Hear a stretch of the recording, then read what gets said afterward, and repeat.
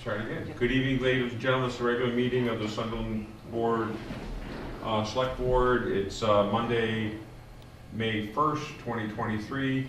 We're called to order at, uh, six forty. Um, pretty short agenda tonight. First thing is we have the minutes of uh, April twenty-fourth. Motion? I motion we accept the minutes of April twenty-fourth. Seconded. We have motion made and seconded to accept the minutes of April 24th. All those in favor signify by saying aye. Aye. Opposed? Three zero, Jeff. Next up is the uh, um, acceptance of the resignation of Bob Ahern from the South County EMS Board of O- Board of Oversight. I motion we accept, um, Bob Ahern's resignation from the South County Board of Oversight. Seconded. Uh, We have a motion made and second, discussion. I'd just like to add that we'd like to accept it with regrets and, and to thank Bobby um, for his leadership that through the formation of the South County EMS. It was through Bobby, um, Gary Stone, Matt Russo, Mark Gilmore, and others that, that we have the South County. Um, Bobby fought for it along with Mary Ellen. They were in- instrumental. Um, we, I can say without reservations, that if it wasn't for Bob Ahern, Mary Ellen, and those aforementioned people, we would not have South County EMS right now. So Bobby, thank you, and we will accept with a vote of zero, three zero, your resignation so you can uh, continue on. So thank you, Bobby, for your service. Next up is the review of town meeting this year. Crystal, thoughts? I thought it went well. We didn't have, you know, a lot of people with huge issues or anything, so the questions were all valid questions and Nathaniel? Um, as my first one on that side of the table, I think it went pretty well. I was happy with, uh, the level of involvement from the, the members of the town. I was happy that the board and the finance committee had answers to everyone's questions and that the votes went the way we were hoping it would, so very happy all around. Um, couple comments I, I would like to, to share is that, um, I, I, I think the hardest thing, and in the audience tonight, we have Margaret and Scott Bergeron and Margaret Nardowitz, and they will tell you how hard the board prepared for town meeting so that when we were at the meeting, we could answer all the questions and not have a blank look on our face. Ninety-five percent, we accomplished that. Um, sometimes the other five percent, usually, we couldn't hear the question because at that time, we didn't have very good, um, audio. Um, but I, I guess the, the, the one thing, and Nathaniel, you, you, you, you started, when, and, you know, you did say, it's important that when the, a question is asked, that the, the people at the front and the town clerk will tell you that at that point, Wendy will tell you that the people, the select board, for the most part, are- is window dressing. It's really the moderator's meeting, the town clerk is the clerk, and, and they run the meeting, and that the members of the, the residents of the town, it's their meeting. So you need four No, things. Yeah, no, I, I would disagree. You can't have a town meeting without a moderator and a town clerk. There's four things that you need. You need a moderator, need a town clerk, you need a warrant, and you need the residents. Nothing about having a board, of- a select board We there. have a zero quorum, but, This is like old times, arguing with the town clerk is just. but, I- but certainly, the I can't tell you the select amount board of times that we've argued with the town clerk, but, um, but it's right. And, and, and I, I think it, it's, it's, it's important that we've all, the, the board always has to be prepared for town meeting to answer those questions. And, and that, and that's important, that's what we, that's what we strive to do. We, we strive to ask, um, I, I thought, I, I would suggest that next year, when we get to the, um, budget questions, I would, I would suggest that there's a presentation made about the budget. There's a lot of work that goes into, there's months and months and months of work, not by just the select board, but by department heads, the town administrator. Jeff pull- pulls out his hair trying to make all the numbers right, right up. Right. Uh, we, it was like after our last meeting and something was said a- about the budget, and we go downstairs and, and twenty minutes after the meeting, Jeff is still looking at his spreadsheet, trying to find out where that number came from. So, just so- so, people know, there's a lot, there's a lot that goes into a budget. And, and I, I think it's, it's, it's important that there, that, some of that information is shared. But we had a big, we had a big thing this year, we went increase from sixty to sixty-five percent. It was the first time, probably since the nineteen, the late nineteen nineties, two thousand, where we've, where we've really added a position. Um, in that, in that position, go ahead. We haven't, we've changed job titles, but in the eighties, we had an administrative assistant and a secretary. So we changed to a town administrator and a administrative assistant. But no extra person has been here since, I mean, And you're before, explaining it, and you're before explaining it Richard right. Bump and, Right. Um, So, so many towns, our size, larger, and particularly smaller, and Margaret can attest to this, will have assistant town clerks or assist, and, and not just in name. So Jeff is the assistant treasurer, well, Jeff's the assistant treasurer because we found through, when Margaret was town administrator, that something happens to the treasurer, you need an appointed assistant treasurer to make certain things happen. And, and so we don't have an assistant function, functioning treasurer. We don't have a functioning assistant accountant. We don't have uh, any backup inside the town hall, so if, if- if Cindy is sick or, or Wendy can't come in, that people can readily go in. So one of the things that we added, we added part-time position that, this year, um, and, and, but it would've been nice to talk to people more in depth about why, why that's happened, so, so that people understand. And we had a conversation, and we strugg, and we struggled with how do we make it fit within the budget. I, I think this, the school budget with the elementary school, they added a new position in the, in, in the, the in the thing. Again, it- it'd be understanding why people should know, so it doesn't come by surprise someday. Like, well, when it is happen, well, so we need to, I think we can, we could do a better job of that. So just, we need to be able to talk about that, so everybody knows. I, and, and finally about the town meeting, and this is something that goes to the town, the town, the, our town council, who's actually a senior partner in the K and P law firm, which is a statewide, has two-thirds probably of the towns in the state of Massachusetts, and he still comes to Sunderland, um, but he, after the meeting, he just, he wanted to say, you know, Sunderland is a u, a unique community. We all kind of know that, but, but he said, no, in all seriousness, Sunderland is one of the few commit, communities that, that people respect one another, they respect one another's ideas, and they have, uh, um, they have conversations. And he says, believe it or not, most of the towns today, that is not the norm. So that, that reflects the quality of people that we have in our town, and I'd like to thank all those residents for that, that we can still talk to one another. That's really important. Jeffrey? Thoughts?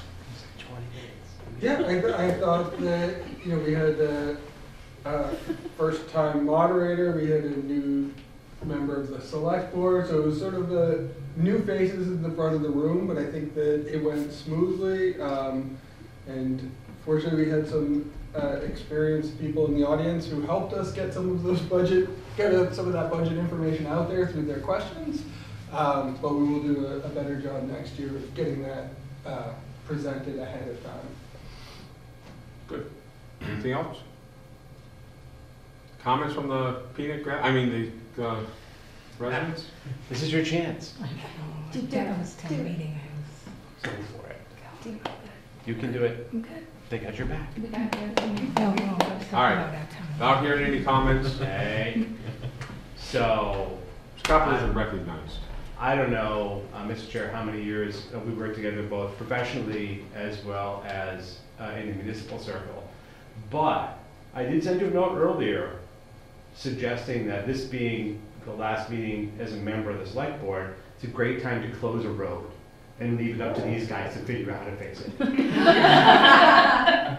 I've got a As- road. as- I've got one. I got a Not, road. not. As, as was done one time, this is deep in the weeds, when the town was petitioned about a road from a neighboring community, and you happened to be on vacation, and myself and Mike decided, declared an emergency, roads closed. You came back and you said politely, what? Anyway, it got done, and as so much has been done over the years uh, in your tenure, it's a matter of getting it done, well, with involvement. And so I couldn't be more happy for you and the team behind me to get more of your attention, although they might not want it, but we'll see, like Three weeks, four weeks? Yeah, three weeks, Three weeks, three weeks, three weeks. And uh, wish you the best in your endeavors uh, with the auxiliary as well as Appreciate it. this side of the table. Yeah, Yeah, I thought Lauren, when Lauren said, you know, joining the other side, looking at there, being able to throw pot shots, that sounds like fun. Well, well, someone's got to be able to take that rolled up warrant and go, Mr. Moderator. And I think you Will- skilled Will in someone- that. Will someone, it was like, Will, you- you're supposed to ask how much, you know, that was Russ Crenshaw's job, then it was passed to you, and he totally failed that. Walter It- it was- Strozick's before that, and it was, and it was Walter. yeah. Walter Strozick before that, and then after Walter, And then Joe Bagden? Joe Bagden. Yep. She could sell ice to us Eskimo. Yeah, he did the, Doobie, huh? um, in fairness, Doobie. They were- those numbers were on a handout given to the people. True. In fairness to Will, I, In, Only thing I can say is in no full one, definition no, of warning. Got it. no one's. You don't, you don't want the town clerk to call the inspector general's office with a question. And, because the first thing the inspector general's office will say is, are the select board giving you a hard time? And, and that is a true statement. Kid gloves. Margaret? May I speak? Absolutely. So, hi, nice to meet you, I'm, I'm Margaret. Nice to meet you Um, Retired. So, um, I spent 34 years in, in public service, and I had spent um, several years in a town clerk's office before um, making the switch to town administration. And I thank um, Tom and the, the entire select board at that time, and, and of course Wendy, uh, for giving me that opportunity because it opened so many doors. But I just want to talk a little bit about Sunderland. Um, you know, at the time, it was Tom, Scott, and Mike. Um, you know, the, the three, the three amigos, the three. Well, you know, it- You all, no, you didn't always. There was not always consensus, but it was always respectful, like you're, like you're saying. It was always respectful between the board. But what even struck me more, and what I learned so much from, was that every member of the board brings their own bits of expertise to make a full board. So, um, Tom, I congratulate you on your 24 years on the select board. That's just amazing, and I respect any board member anywhere. It is not an easy job. It's a it's a tough job um, because the responsibility of the town is is on you. And so thank you all for your service, Tom. Um, your I can only imagine how much this town is going to miss your institutional your cultural knowledge, your institutional knowledge, and um, your historical knowledge of the happenings in this town. You have got a memory that, you've got a memory like an elephant, first of all. You remember everything. So um, I know this is going to be a huge loss for the town. But I wish you all the best and I wish you great adventures in your new chapter.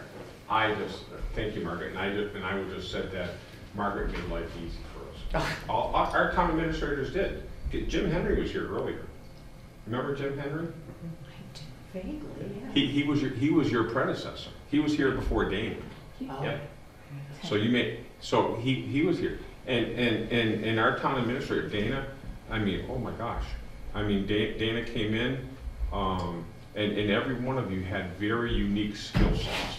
Very, please, finish. and, and they had very unique skill sets. Uh, Sherry to Jeff, they're all, all different, but, and, but the combination of, of all the town administrators, and, and, and, and I had a conversation, I said this before, I, I had a conversation with a, a select board member from a town to the north of us. And, and he was, he was, um, not very happy with, with towns because they're paying town administrators too much money. And I go, why, I said, well, he, at the time, we were, we, we were paying Margaret seventy-six thousand dollars a year, I think. If you remember. And, See, you remember everything. and, and, and, and, and he, and they were paying their town, their similar sized community, they were paying their town administrator fifty. And I said, well, how, how much money did you get in grants this year? And he said, grants, grants, how do you expect us to get grants? We're, we're, we're too hard fight, blah, blah, blah. It goes on, didn't get nothing, didn't get twenty thousand dollars, he said. And I said, we got three million dollars. So for twenty-six thousand dollars more, we invested twenty-six, and Scott was, Scott Bergeron was a big proponent of this. For investing twenty-six thousand dollars additional, we brought three million dollars worth of grants in. I, I, I'll take, I'll take investing twenty-six thousand, get back three million any single day. So, but that, that, that's what having professional people, Jeff, Margaret, that, you, you changed us, you changed our community. Our, and, and, and I think I've, I've been fortunate, I've been working with, with, with, with, um, other board members that understand that we need to get out of the way, allow the professionals to do the job, and just offer guidance. And, and, and, and when you have a question, we're there to help. And, and we can't, we definitely can't run day-to-day operations, that's, that's not our job. So, so you did, you, we, we learned a lot from you, Margaret. Um, the other thing, so, are we all done with this? Okay. So. I- What road are you closing? I know, but, but we, we, we have a meeting Wednesday night, uh, with the town of Deerfield to discuss, uh, senior center housing going forward. So we're on tap for six thirty, six? Six thirty. All right, so we're gonna be, we'll- we'll be talk, we, we have to talk about, we have to talk about that. Anything else? Good. Sure. No. You know me, I don't talk a lot, Oh, so no. it's gonna be, Not off, not on camera. yeah, well, off camera, that's a totally different thing. So I'd like to start by saying thank you. We just don't even have the words to express our appreciation for everything you've done. And, and it, it goes on the list. So tonight marks 24 years of your career, your last meeting being a member of the select board for Sunderland. You've been around for many of the changes in town. You were here when the roof collapsed at the grammar school. You were here for the public safety complex, the library, when 120 North Main Street was just a thought. You've been here for all of it, and that list goes on. We couldn't possibly name everything that you've done through the years here. You were here for South County EMS being formed. Um, and through it all, you've done this with honesty and sincerity. You've always had the best interest of the town, the town employees, and the community as a whole. And this is just a little story about when my son was in elementary school, he played basketball and you were a referee. And there was one day he comes and he slumps down on the bench and they had just lost horrifically. And he says, I wish Jim and Tommy were the referees for this game. And I was like, well, why? You guys lost. What would it matter? And he was like, because they're fair and they tell us what we did wrong. So here's a little elementary school child who saw your fairness. And you know, that just, I've known you for a lot of years. I've, you know, been on this, you know, fire department, ambulance, all these other things in town, I've always crossed paths with you. Um, so you've helped me tremendously for my first two years here. I have a lot to learn still. I'm never going to deny that. And I just hope I can be half the person you were as a select board member. Well, we'll see how that goes. You- But, you know, I really appreciate everything. And along with the rest of us here in this room tonight, we wish you well in your retirement from this board. We know you're still gonna be here and you're gonna pick and choose the boards you want and it's gonna be great. Um, we're so grateful to keep your knowledge and your compassion for some of these things that are happening in Sunderland. And we'd like to thank Mary Ellen, Jackie, Jesse for sharing your father, your husband with us. We know this is a huge time suck. He is all, um, you know, he's here all the time. He is involved with meetings. He's the go-to guy when someone has a question. And we really do appreciate, you know, you guys dealing with him being here for us. And we just wish you well. Thank you. And I'm done. See, I said I'd keep it Good. short. All right.